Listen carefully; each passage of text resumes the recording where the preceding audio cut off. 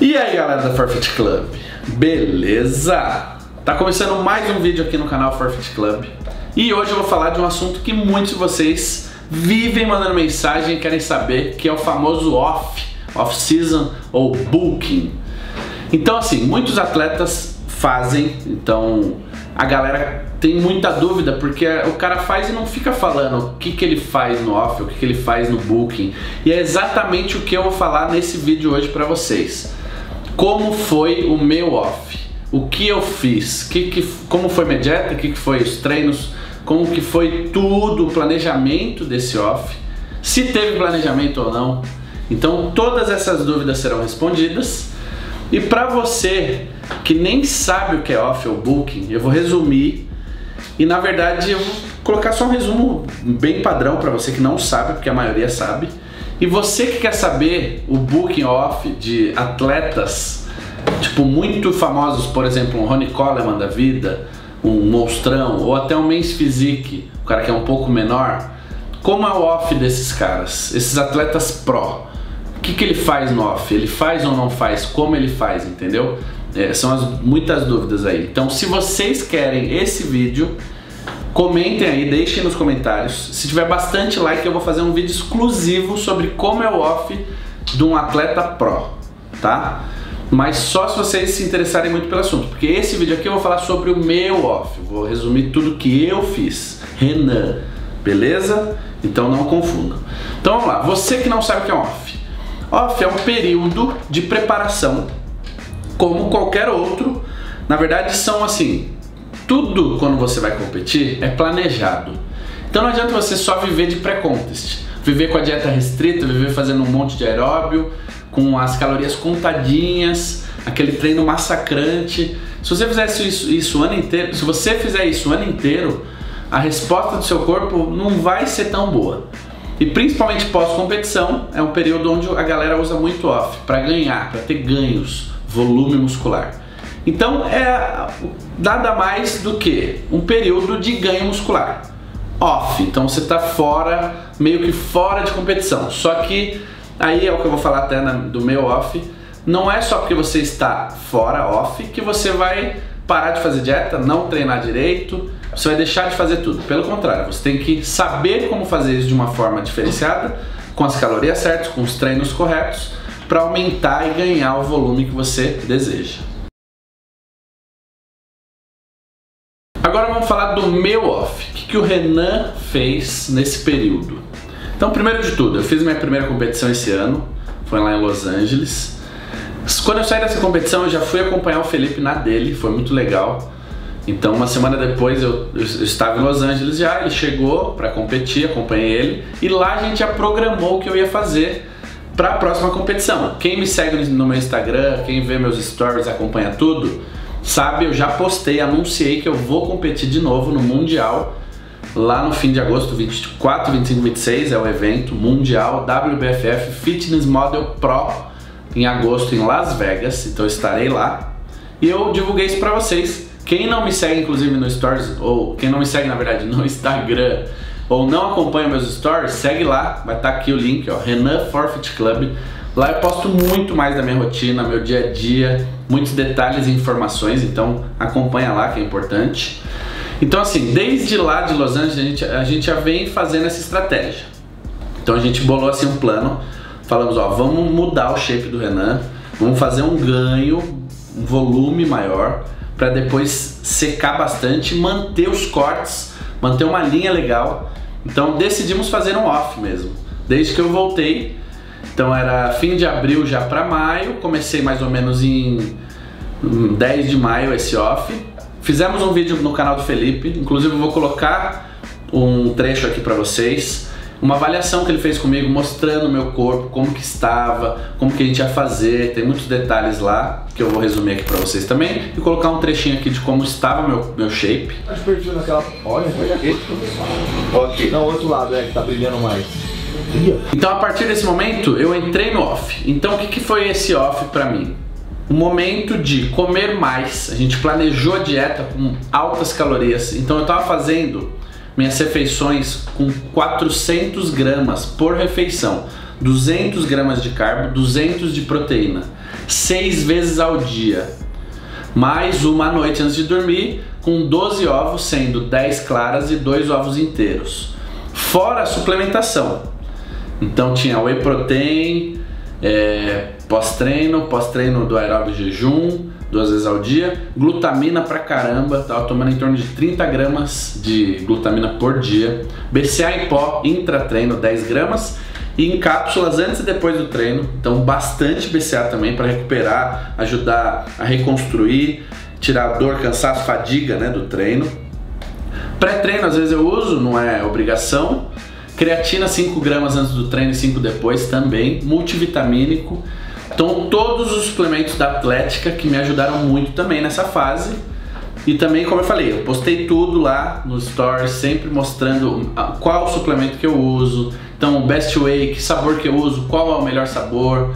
Então tudo, tudo isso vocês vão acompanhar no meu Instagram. Muitas pessoas têm, têm as dúvidas, ah, mas e nessas 200 gramas de carbo e proteína? Quais são os alimentos que você usa? Não muda muito os alimentos, são os, os tradicionais que vocês já sabem que eu uso, que eu gosto. Que é aquele purê de mandioquinha ou mandioca mesmo, de carbo. Batata doce eu não sou muito chegada, então eu, eu uso mais a mandioca e arroz integral. Só, prefiro usar só esses dois. Pode usar batata doce? Pode também. E de carne eu prefiro muito mais a carne vermelha, eu uso carne moída de patinho. Às vezes eu compro uns bifes magros e faço mesmo grelhadinho. E às vezes frango também, uma refeição ou duas eu colocava frango grelhado como forma de proteína. E o ovo na última refeição, também é uma ótima fonte de proteína. E o whey protein que entra como base de suplementação. Então, elevando a dieta com, esse, com essas quantidades altas, eu fiquei com uma caloria ingerida diária bem alta também. Então, o que a gente fez no treino? Utilizamos uma ideia de treinamento totalmente diferente do que a galera está acostumada em off. O que acontece no off? A galera quer fazer o quê? Socar a carga lá meter 60 kg de cada lado do supino, 70, fazer 6 a 8 movimentos. Socar a carga no agachamento, fazer agachamento lá com 80 de cada lado, 6 a 8 movimentos. A gente mudou essa, esse jeito, esse padrão, que é fazer muito pesado por causa do off, que tem bastante caloria, e utilizamos treinos com um gasto calórico muito grande. Então eu ficava uma hora e meia, duas na academia treinando muitos exercícios, muitas séries, muitas super séries. Então eu saía de um supino, ia para um supino inclinado, saía direto, fazia o Pai Nosso, mano, então destruía. Era bisete, trisete, é, exercícios com drop. Então assim, era um treino longo, massacrava, nem dava para colocar tanta carga. Mas era muita repetição, muitas junções e um treino longo. Para quê? Para dar um estímulo diferente, para melhorar minha resistência, e trabalhar de uma forma diferente. E eu tive uma resposta muito boa. Fiquei meio assim no começo. O Felipe falou: "Não, manda bala, vamos fazer, que vai ficar legal, é um estímulo diferenciado". E realmente eu gostei bastante desse estímulo diferente de treino e funcionou para mim. Então assim, tudo que vocês estão ouvindo aí, ah, mas Renan, então eu vou seguir tudo isso. Ou ah, mas isso aí não vai funcionar. Isso funcionou para mim, foi legal para mim. Eu comecei esse off com 99, eu acho que estava quase com 100 quilos. E meu objetivo era chegar em 110 quilos. A gente traçou uma meta. E aí foi difícil, batalhando, ganhando 1, 2 quilos tal. Cheguei a 104, bati 105, feliz pra caramba. Eu falei, será que chega no 110? Fomos, continuei, continuei, focado. Cheguei em 8, 108,5. Foi o meu maior peso. Acho que eu registrei no Stories, vou colocar aqui pra vocês. 108.3, acho que eu, esse dia que eu registrei. mas cheguei a 108,5, então fiquei muito feliz com a resposta. Oh, louco, Não vai de 110, mas pô, é um só, era só uma marca. Tava muito bom se chegasse próximo e que é o que realmente aconteceu. E é um peso que eu nunca cheguei, muito legal. E o, o importante é que quando a galera faz off, a galera pensa que pode comer o que quiser a hora que quiser. E aí come hambúrguer, pizza à vontade, fritura, maionese, açúcar, besteira, chocolate. E não é assim. Eu tinha algumas refeições livres, sim. Às vezes eu tava lá com aquelas quantidades certinhas e à noite me chamava, oh, vamos lá comer um hambúrguer? Vamos. Ia lá comer hambúrguerzão monstro, com maionese, ketchup, mostarda, tudo. Então assim, não tem problema. Desde que você siga a dieta certinho o dia inteiro. O treino insano no dia. Então eu não deixei de fazer minha dieta, eu não deixei de treinar. E à noite eu estava lá com meus amigos comendo hambúrguer e mais caloria ainda, uma caloria um pouco mais suja, ok? Mas funciona, dá um estímulo a mais. E o problema é você pensar que você pode comer de tudo. Esquece isso. O off é um período de treinamento também, é um período de preparação. Então você tem que ter consciência que você também vai fazer dieta, que você também vai treinar certo, descansar certo, senão o bicho pega. E aí não vai funcionar. E aí você vai ficar barrigudão, zoado, inchado, que o meu pai até falou, o que, que você falou, pai? Off, o que, que acontece? Cara de traquina. Cara de traquina, bolachão assim, ó. E realmente, ficar mais inchado, até eu, aumenta um pouco. Só que o que eu fiquei feliz, que, que eu consegui seguir essa dieta, mesmo comendo uns lixos, às vezes na semana, e eu mantive um percentual bacana, uma, uma aparência de veias muito boa, então isso é legal. E o abdômen ficou bom, então vou até mostrar agora para vocês como tá o shape agora. Finalizei esse off, até fizemos já um vídeo lá no Felipe, no dia que acabou o off e um treinão monstro de peito. Quem não assistiu, clica aqui no link aqui, ó, vai ter aqui a tirinha aqui também. Volta lá e assiste lá um treino top que a gente fez. Eu fiz braço, ele fez peito, depois a gente treinou tríceps junto. Loucão. Foi muito louco. E assim, é, eu vou mostrar agora nesse período de transição. Por que período de transição, galera? Porque todo mundo acha que vai acabar off hoje. Amanhã o cara tá de pré-contest. Aí o que acontece? Zero carbo, só come proteína vegetal, legumes, salada, faz hit o dia inteiro, aeróbio o dia inteiro e acha que agora é só secar. Não é assim que funciona. O Felipe até fala nesse vídeo, ele me mostra, a gente planejou isso junto. Existe um período de transição, onde agora a gente vai modular os carboidratos com as gorduras boas, diminuir um pouquinho também a proteína, regularizar essa quantidade de proteína com os carbos baixos, moderados e altos e fazer com que o meu corpo tenha uma adaptação para entrar no pré-contest realmente e, e aí massacrar tudo para fazer a definição que a gente quer e lapidar o corpo da maneira que a gente quer. Entenderam? Então, tudo é planejamento, sem pressa, mas tem que ter dedicação e não ficar atropelando as coisas, achar que off é comer tudo que quer, a hora que quer. Não é assim que funciona, é o que falei. Disciplina e dieta, seja em qual for a fase de preparação. Você está em preparação. Você tem que seguir o plano, tá? Então vou mostrar agora para vocês o shape como tá hoje. Eu pesei agora, tô ainda com 106 quilos. E agora vai acontecer isso, eu vou diminuindo um pouco. A ideia é manter um 102 com uma qualidade, um volume bom. E vamos ver como é que fica para subir. Não sei, se subir com 100 quilos seco, será? Vamos ver. Então se liga aí, como é que tá? Então, galera, esse shape agora atual, logo após o término do off, para esse período de transição. Então, estou com um volume legal, acho que eu nunca tive um volume tão bom. E mesmo assim com uma qualidade, dá pra ver que tem veia, dá pra ver uma pele boa. Então tô, tô feliz com isso. Tô peludo aqui, nem depilei, mas dá nada, só pra mostrar pra vocês aí.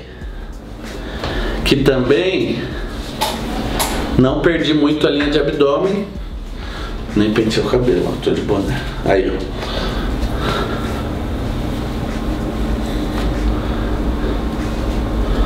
Então tem um abdômen, tem um abdômenzinho ainda, ó. Veia querendo sair aqui, ó. Aí, ó. Tricepeira. Dorsal.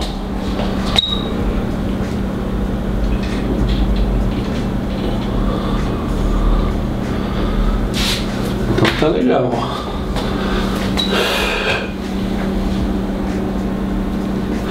E a perna, como é que tá, Renan? A perna tá top. Aí, ó. Cortando. Volume bom, saindo aqui, ó, na lateral. Panturrilha querendo sair também, ó. Vai tirando. Ó. Eita! Então é isso. Então tô feliz com é, essa parte de shape, de qualidade, volume e agora fazer um trabalho para fibrar tudo e chegar daquele jeito. Então segue o vídeo. Então é isso, galera. Esse foi o jeito que eu fiz o meu off. essas maneiras de controlar a dieta, de fazer um treino um pouco diferenciado, mas seguindo a disciplina, fazendo os lixos controlados. Foi muito legal. Então recomendo a você, quer fazer um off? Faça, mas tenha consciência de que não é comer tudo a hora que quer. Faz a dieta, pô. Come mais, come bem, você vai comer o dia inteiro, bastante quantidade. Segue o plano, porque aí você vai ter resultado. E você não vai ficar gordão, barrigudo, zoado, que depois você vai se arrepender e não vai conseguir definir, entendeu? Então não adianta você querer ganhar tudo e olhar e olhar o barrigão assim. Você não vai gostar, o seu psicológico não vai ficar bom. Então faça, segue o plano. E agora a minha estratégia é seguir esses planos que o Felipe montou para mim e chegar lá na competição o melhor possível. Vou mostrar tudo para vocês aqui. A partir de agora que vai entrar um processo de dieta mais restrita ainda, treinos mais fortes, eu vou tentar mostrar o máximo para vocês. Comentem o que vocês querem ver aí do meu dia. Quer que eu faça um vlog? Quer que eu posto mais vezes na semana sobre a preparação? Comentem, eu vou ler tudo, vou ouvir tudo que vocês estão falando aí, vou trazer o melhor conteúdo para vocês para essa preparação, essa finaleira aí que eu vou chegar e dar o meu melhor como sempre. Fechou? Se inscreve no canal, deixa aquele like monstro, ativa a notificação, é muito importante. Você que já é inscrito, só clica ali, ó, ativar, porque sempre que eu postar um vídeo você vai receber a notificação e já assiste direto aí. Fechou? E segue lá no Instagram, Renan Forfeit Club. Comentem o que vocês querem. Vou sempre estar tá vendo feedback geral aí de vocês. Agora que tá acabando o vídeo, eu vou pegar, vou comer, já deu o horário. Vou até mostrar aqui pra vocês minha marmita, se liga.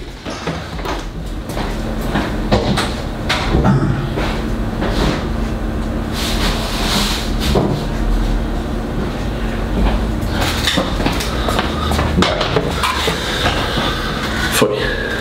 Aí galera, esse aqui ó, Fit for You Express. Eu como direto as marmitinhas deles, porque tem as quantidades que eu preciso, os alimentos que eu preciso.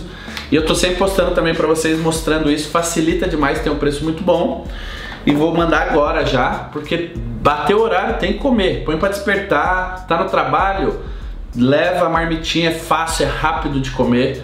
Então é isso, espero que vocês tenham gostado e até o próximo vídeo. Tamo junto. E aí? Curtiu?